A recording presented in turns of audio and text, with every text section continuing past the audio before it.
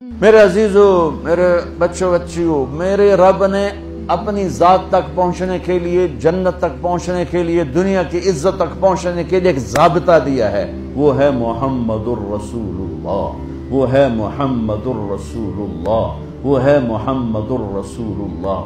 اور اللہ نے اپنے محبوب کی زندگی پوری پوری زندگی ہمیں بتا دی، ہمارے سامنے پیش کر دی۔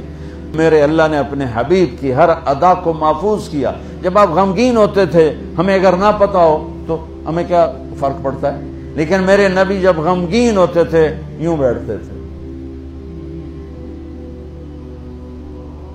داڑھی ہاتھ میں اور سر جھکا ہوا، آنکھیں بند۔ یہ آپ کے غمگین ہونے کی نشانی تھی۔ جب آپ خوش ہوتے تھے، تو یہاں سے نور نکلتا تھا۔ پہلے نکلتا تھا، اور زیادہ نکلتا تھا۔ جب آپ ناراض ہوتے تھے، جب آپ غصے میں ہوتے تھے تو اظہار تو فرماتے نہیں تھے، پی جاتے تھے۔ پینے پر جو باڈی کا ریاکشن ہوتا تھا، وہ کیا تھا؟ یہاں ایک رگ تھی جو ایسے ایسے ایسے ایسے پھڑکنے لگتی تھی۔ اب سب سے کہتا ہوں، غصے کو پینا سیکھو، چپ رہنا سیکھو۔ خاص طور پر ان بچیوں سے کہتا ہوں، ہمارا سسرالی معاشرہ بہت ظالم ہے، بہت ظالم ہے، بہت ظالم۔ چاہے وہ دیندار لوگ ہوں، چاہے دنیا دار لوگ۔ ہوں اس لیے میرا چونکہ ہمارا جوائنٹ فیملی سسٹم ہے، یہ بہت پسندیدہ تھا اور اب بھی ہو سکتا ہے۔ اگر ایک دوسرے کے مقام کا پتہ ہو، ایک دوسرے کی کے مرتبے کا پتہ ہو، لیکن اب ٹانگ اڑانا ہی ہماری معاشرت بن چکا ہے، تو زندگی اجیرن ہو ایک لڑکا لڑکی زندگی شروع کریں تو ایک کے مسائل ہیں اور اس کے مسائل ہیں۔ تو بڑی جلدی حل ہو جائیں گے۔ لیکن جوائنٹ فیملی سسٹم میں وہ جاتی ہے بچی۔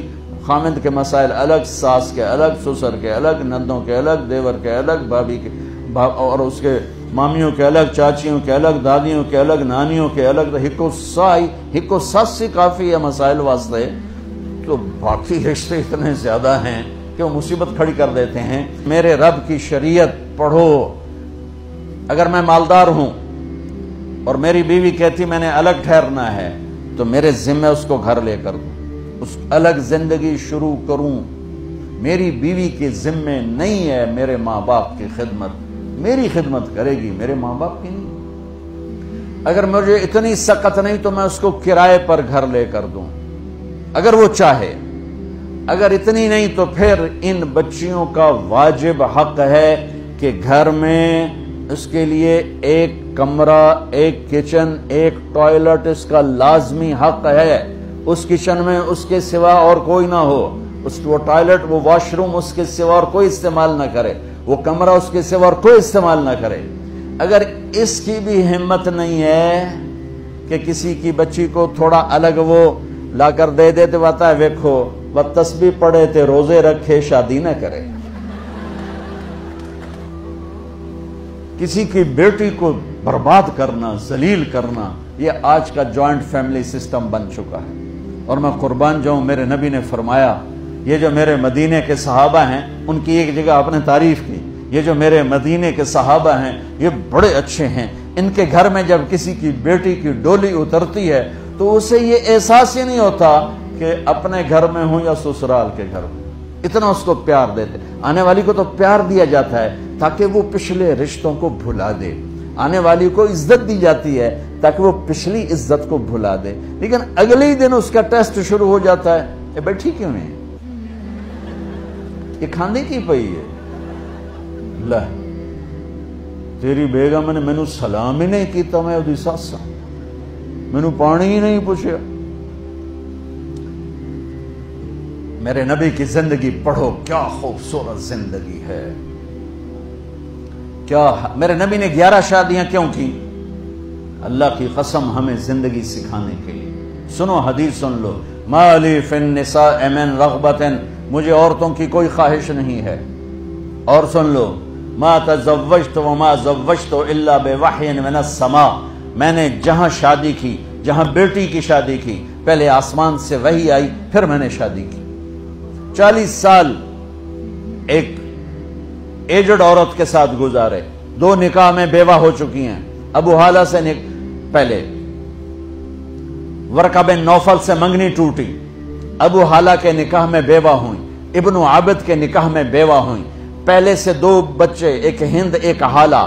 اور ابن عابد کا ایک بیٹا ہوا، اس کا نام مجھے کہیں نہیں ملا۔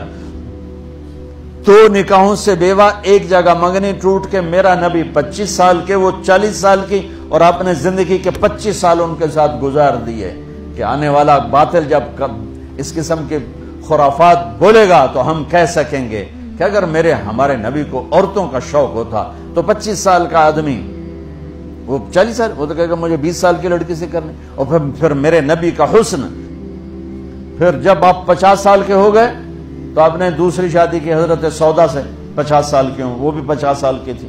پھر حضرت عائشہ سے نکاح ہوا۔ پھر جب مدینے گئے تو آپ نے وہاں جا کے نو شادیاں کی۔ میرے بھائیوں میرے میرے بچوں میرے بچوں، اللہ کی قسم تمہیں، ہمیں گھر کی زندگی سمجھانے کے لیے۔ یہ ایک لوٹا پانی لے لو، نماز ہو جائے گی۔ اور افریقہ میں میں گیا اتنے پانی کے ساتھ لوگ وضو کرتے ہیں۔ جو، انہوں، پانی کم ہے نا، تو سرائی ہے۔ تو وہ وہ, وہ ہماری طرح پانی بہاتے نہیں۔ وہ ایسے کر کے یوں یوں کر کے اس کو سارا گیلا کر لیتے ہیں۔ تو وضو کے لیے تو پانچ لوٹے پانی چاہیے اور ایک گھنٹہ چاہیے اور نماز کے لیے ایک گھنٹہ پانی چاہیے۔ لیکن چوبیس گھنٹے کی زندگی میری کیسی گزرے؟ یونیورسٹی میں آؤں تو ٹیچر کے ساتھ کیسا ہوں؟ یونیورسٹی میں آؤں تو اپنے ساتھی کے ساتھ۔ یونیورسٹی میں لڑکیاں میرے ساتھ پڑھتی ہیں لڑکے میرے ساتھ پڑھتے ہیں۔ میں یہاں کس حیا کے ساتھ زندگی گزاروں؟ اور کن آنکھوں کی حفاظت کے ساتھ یہاں میں زندگی گزاروں؟ میرا اللہ مجھ سے یہاں کیا چاہتا ہے؟ جب میں گھر میں جاتا ہوں، اگر میں بچہ ہوں اور میری ماں اور باپ ہے، تو میرا اللہ مجھ سے کیا چاہتا ہے؟ اگر میں خامند ہوں، تو میری، تو میرا اللہ مجھ سے کیا چاہتا ہے؟ میں گھر میں داخل ہوں، میرے نبی کے طریقے کے ساتھ، تو میں باپ ہوں۔ میں گھر میں آؤں اور میرے بچے سہم رہے ہوں، تو میں باپ نہیں، میں تھانے دار ہوں۔ میں پروفیسر نہیں ہوں، میں تھانے دار ہوں۔